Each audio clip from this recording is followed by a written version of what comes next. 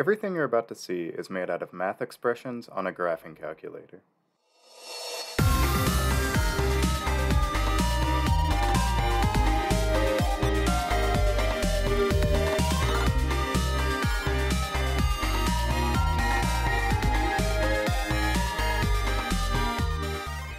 I've been using Desmos to make art for a while now, so I figured I would show some of the things I've done. If you want to look at them more in detail, or you just want proof that they really were made in Desmos, links to all the graphs are in the description below.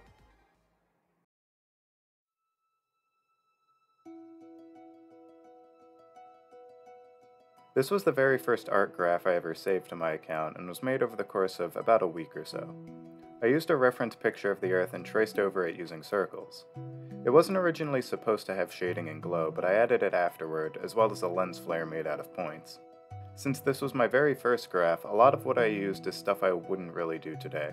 The circles were made with implicit functions, which are the most resource intensive kind of function to use, and since there's a couple of hundred of them, it made the whole thing just a bit slow. I somehow did this all on a school Chromebook, which I don't know how I did.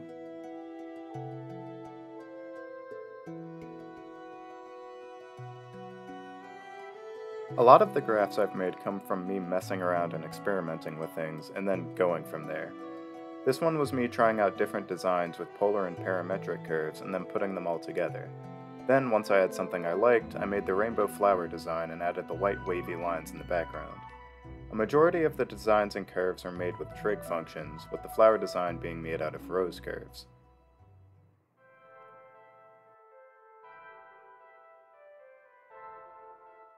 I was trying to fall asleep at 10:30 p.m. one day, and I suddenly just got a wave of inspiration to make something in Desmos. Two hours later, I arrived at this. I really like the atmosphere I created for this one, especially with all the stars in the background and how it reflects on the water. The reflection design was made with a weird implicit sine wave function that pretty much just came from me changing values around until I found something that worked well. I also made a short song for it, which is what you're hearing in the background right now. I didn't make it more than 8 measures long, so it's really more of a loop than a full song though, but I still like it.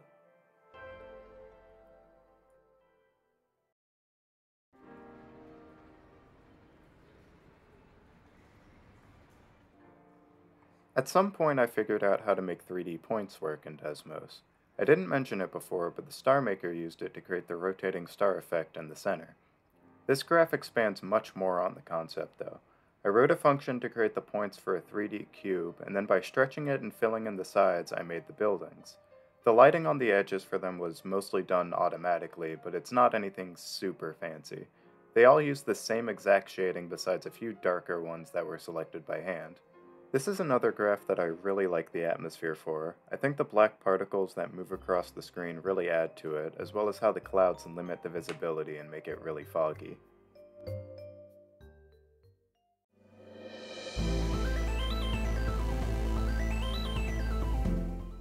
This is definitely one of my favorites. I didn't have any kind of clear vision when I started making this, other than I wanted to do something with planets. It came out so much better than I would have expected though. The glow on the planets, the way the colors blend together, and the way everything seems to blur as they get further away from the camera all make this one of the best executed graphs I've made. I even made a function to change the lighting on the planets depending on their position, since they move ever so slightly in the animation. The asteroid belts were made by creating random points and making polygons out of them. Really, a lot of what makes up this graph is just from stacking a lot of stuff on top of each other. If you look closely at it, you can start to make out some of the individual differences.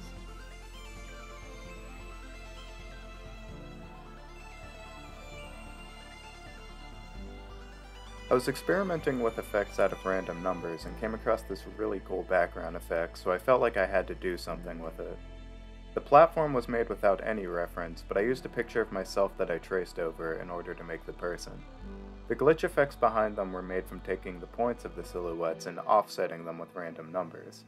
The background also has an animation to it, but the way that it works is that it randomizes the positions of the rectangles every frame, which makes it super flashy. I decided not to include it here, but here it is slowed down a lot so you can see what it would look like.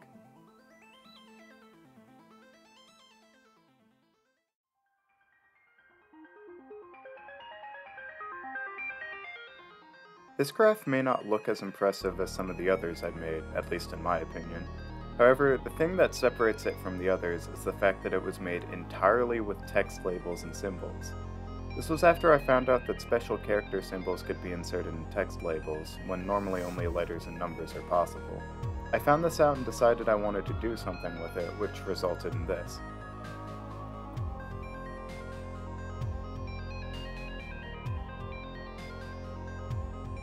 This is another one of my favorites, but unlike Nova, this was one I had a clear idea for. One thing I like to do every once in a while was to draw in what I call a clutter style. Basically, you draw a big shape like a circle or a square, and then you fill it with as many designs and patterns as you can. It's something that you can do even if you're not good at drawing, and the result comes out really cool each time. I had done this a couple times in Desmos, but I decided I wanted to add a 3D spin on it, so I made six different sides and put them on the surface of the cube using the 3D function I mentioned earlier. Then I added a bunch of background effects and glow to it. I actually recorded my entire process for this, which ended up being 13 hours long across multiple days. I was planning on making a time lapse for it, going over how it was made, but I never got around to finishing it. Maybe I'll work on it again sometime and finally turn it into a video.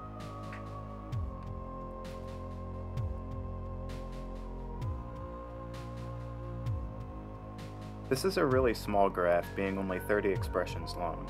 Originally made this to be used in a different project, but I never got around to finishing it. This graph was originally just a sun and cloud scene, without the seagulls, but then I showed it to my friends and one of them suggested adding them, which I think worked really well.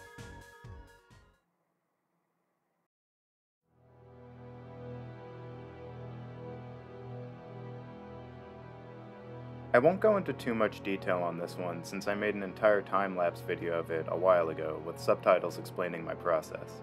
This was made as a relatively quick graph that I could use to test out commentary style videos, so I didn't spend as long on it as some of my other projects. I think it turned out really well, but I do wish that I hadn't made it so dark so you could actually see more of the details in it.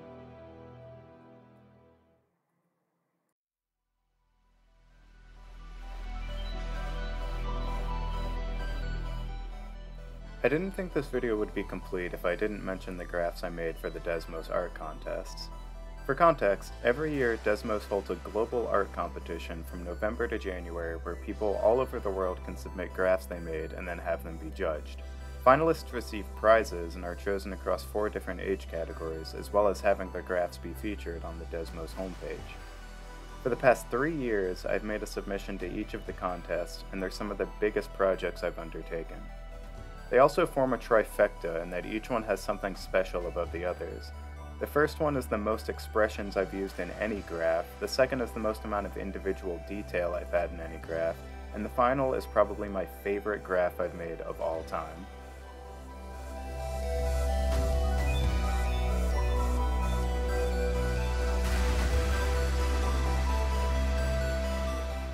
For the 2022 contest, I made this graph, Cubiverse. It uses the clutter style design I talked about earlier, but includes a bunch of other objects in it as well. The whole goal of this graph was to basically just include as many things in it as possible. This was before I really knew how to optimize my graph, so it's by far the slowest out of the three. It also has over 600 expressions in it.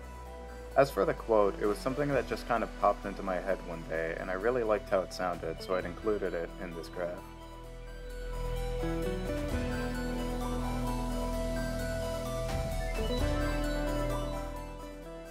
For my 2023 submission, I expanded on the idea I had in my 2022 submission and aimed to create a canvas with as much stuff in it as possible. This time, though, I made it interactive. Desmos introduced clickable objects that year that can perform actions, so I had 20 pi symbols throughout the graph that you're able to click on. This was to incentivize scrolling through and exploring all the different areas in it. I even included a hint folder for people who got stuck. Since there was so much stuff in it though, I realized performance would be an issue. So I made a slider that changes how much detail is in the graph, which made it much easier to use on lower end devices. Even though there's more detail, I learned a lot more about how to combine expressions and save on space compared to my previous year submission, so it's about 50 expressions shorter.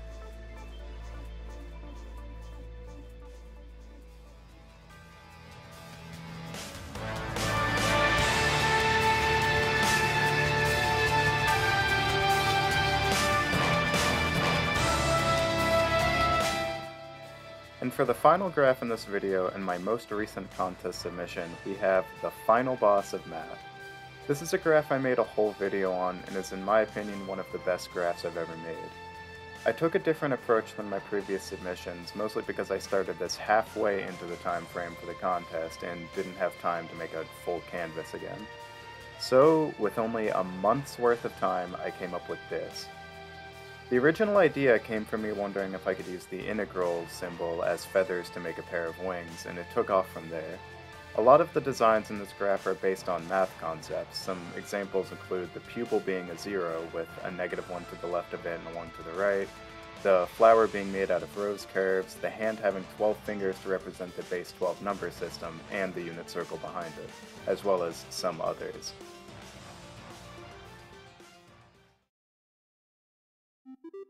Hopefully I convinced you that Desmos can actually be a really good tool for making art. If you made it this far in the video and you enjoyed it, please feel free to leave a like, it really helps out. I only have like 40 subscribers at the moment, so really anything at all helps a ton. I'm considering making some videos going over how I made certain graphs in a lot more detail, as well as general tips and tricks I use in Desmos to make art. If anyone would be interested in seeing videos like that, please let me know. Other than that, thanks for taking the time to watch this video. I'll see you later.